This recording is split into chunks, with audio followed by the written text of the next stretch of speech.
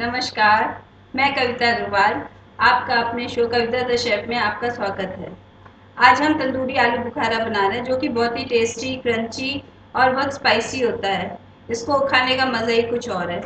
आज देखिए, इसके इसको बनाने के लिए हमें इन चीज़ों की आवश्यकता होगी।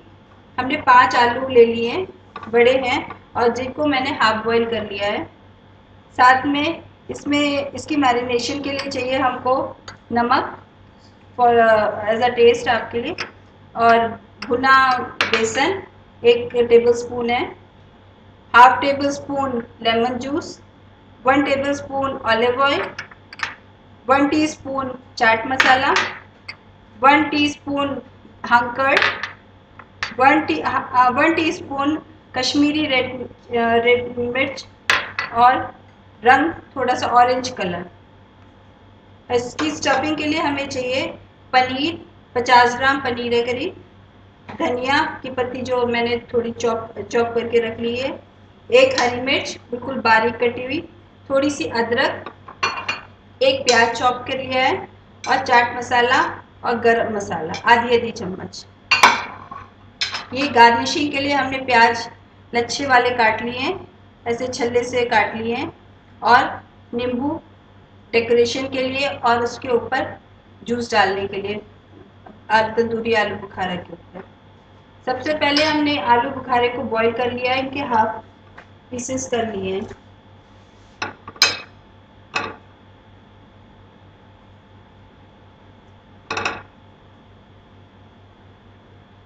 ये देखिए हमने इनके। ये बस बहुत ज़्यादा बॉईल नहीं होने चाहिए। हाफ़ बॉईल कीजिएगा। और इनको हम बीच से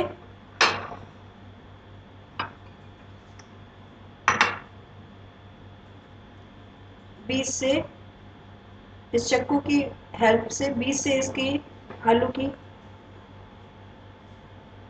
ऐसे स्टफिंग करने के लिए इस तरह से हम खोखला कर देंगे। इसी तरह से हम सारे आलू की बीच का पोर्शन निकाल कर स्टफिंग के लिए तैयार कर लेते हैं।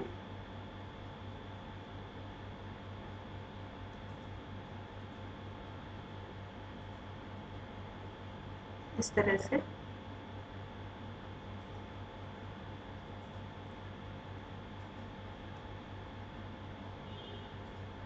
इसको हम बिना स्टफिंग के भी बना सकते हैं। आपकी इच्छा हो तो छोटे वाले आलू आते हैं। उनको आप मैरिनेट करके उनको भी तंदूरी आलू की तरह सेक के उनको भी इंजॉय कर सकते हैं। ये देखिए हमने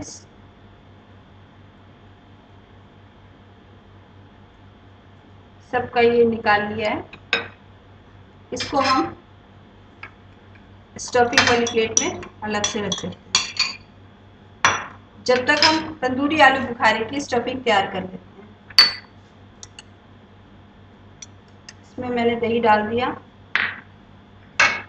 लेमन जूस डाल दिया। अदरक मिर्च का paste half teaspoon one tablespoon भुने चने का पाउडर अगर भुना चना नहीं है तो आप बेसन को भी भून के डाल सकते हैं. Kashmiri red chilli powder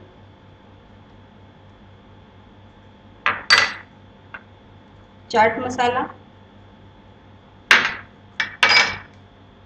नमक. इसमें करीब मैंने वन टीस्पून सॉल्ट डाल दिया है. थोड़ा सा कलर बिल्कुल स्प्रिंग बहुत माइन्यूट सा कलर डालेंगे। और ऑलिव ऑयल डाल देंगे।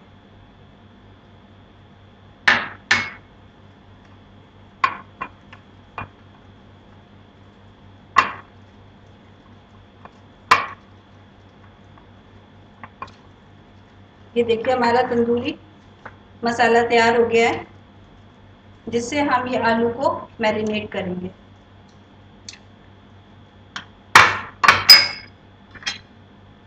इसमें हम ये आलू डाल देंगे। इसमें आपको हाथ का इस्तेमाल करना पड़ेगा, वरना ये चम्मच से टूट सकते हैं।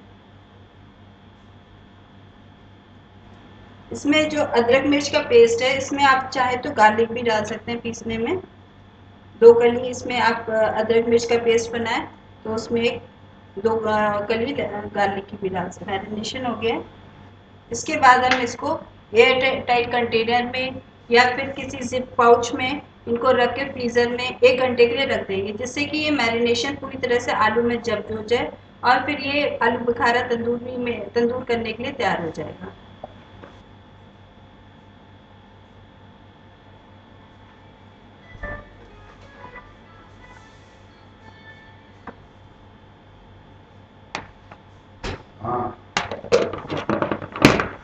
अब इसको हम फ्रिज में रख देते हैं। एक घंटा हमारा होने वाला है। उससे पहले हम स्टफिंग के लिए जो हमने मटेरियल लिया था, उसको हम तैयार कर लेते हैं। और गैस तंदूर या आपके इलेक्ट्रिक तंदूर कुछ भी जो है भी, उसको ऑन कर लीजिए। मैंने इलेक्ट्रिक तंदूर ऑन कर लिया है। इसमें जो आलू की स्कूप करके हमने आलू निकाला था, वो डाल देंगे। पनीर डाल देंगे। हरी मिर्च धनिया, अदरक, प्याज, चाट मसाला, गरम मसाला,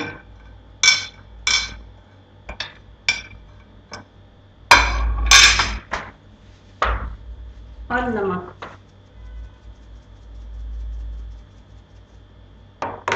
ये सब डाल के अच्छे से मिक्स कर लेंगे।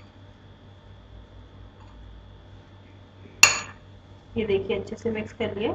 स्टफिंग आपके ऊपर डिपेंड करती है कि आपको किस चीज़ की स्टफिंग करनी है। आप चीज़ पनीर की भी स्टफिंग कर सकते हैं, या स्वीट कॉर्न मटर और पनीर इनको मिला के भी इसकी भी स्टफिंग कर सकते हैं। तो जैसे भी आपको जो चीज़ की भी अच्छा लगता है, जो भी चीज़ अच्छी लगती है, उसकी स्टफिंग आप कर सकते हैं। अलग अलग स्टफिंग बना के अलग अलग वेराइटी बना सकते हैं आप।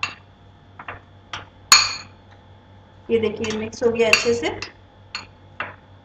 अभी ये मैरिनेट हो चुके हैं हमारे। इन पे हम ये स्टफिंग इस तरह से।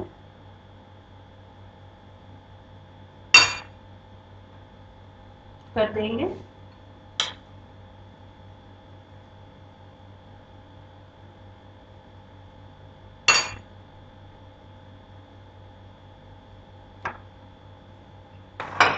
ये देखिए, हमने पूरी स्टफिंग सब आलू में स्टफिंग भर दी है।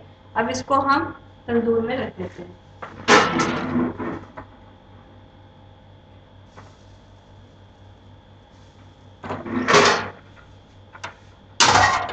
देखिए, इस तरह से रख देंगे तंदूर में।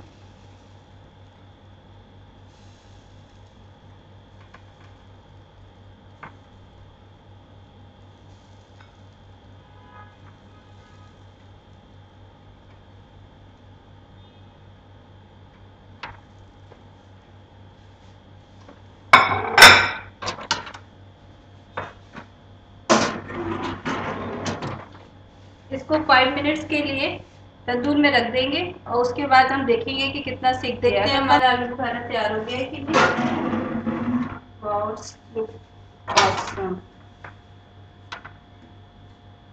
ये देखिए हमारा आलू बुखारा खूब अच्छे से भून गया है।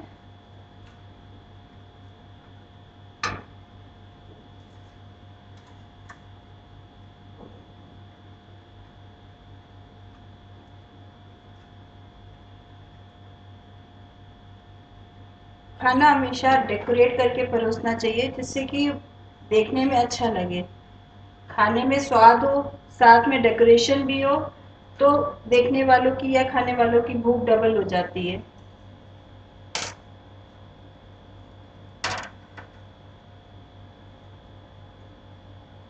अब इसमें मैंने आलू प्याज के लच्छे लगा दिए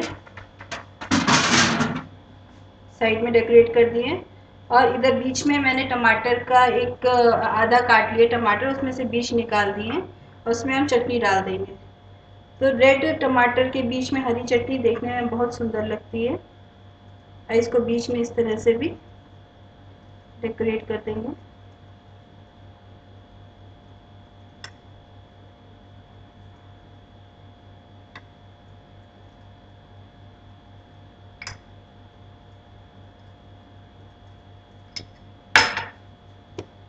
फिर चाट मसाला डाल देंगे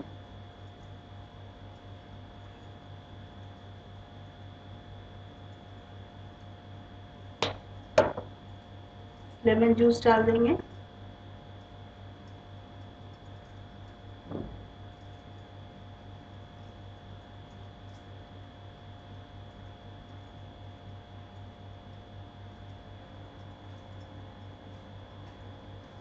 ये देखिए हमारा तंदूरी आलू बुखारा तैयार है। जितना देखने में सुंदर लग रहा है, उससे ज़्यादा टेस्टी भी है। इसको खाइए इंजॉय कीजिए। और अपने सलाह, अपनी कोई भी क्वेरीज है या आप कोई भी रेसिपी जानना चाहते हैं, इसके लिए आप मेरी email ID Kavita the chef at the rate G mail dot com में कॉन्टेक्ट कर सकते हैं। नमस्कार।